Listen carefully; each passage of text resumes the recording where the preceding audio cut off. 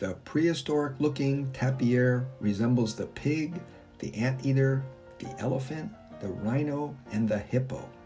Found in South America and Southeast Asia's rainforests, they're shy, solitary herbivores that come out at night to eat after resting during the day. There are four species of tapirs that have prickly fur, 14 toes, and long rubbery snouts. The quiet tapir is surprisingly fast and agile. They're very good at navigating the forest and rugged terrain.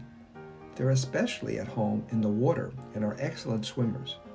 Tapirs can become quite large and bulky as they know how to use their strong rubbery nose to obtain leaves, roots, fruit, and aquatic vegetation.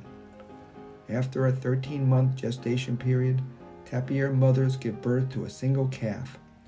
These young are dark brown, streaked and spotted with yellowish white for the first six months.